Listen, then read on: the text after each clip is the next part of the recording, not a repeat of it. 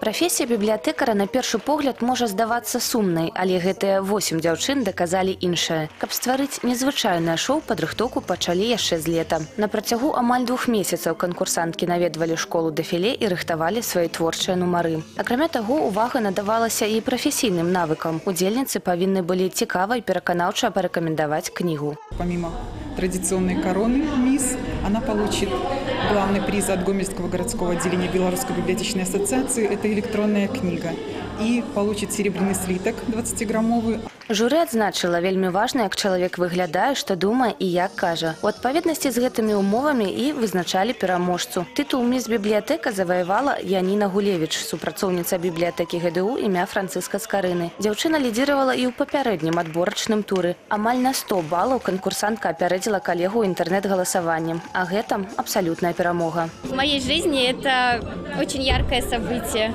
Девочки с- собрались у нас, все удивлялись, у нас не было конкуренции, мы очень подружились, поэтому в этом плане нам, конечно, было легко. Кацярына Сапельнікава, Валерый Гапанько, тэлерадыёкампанія Гомель.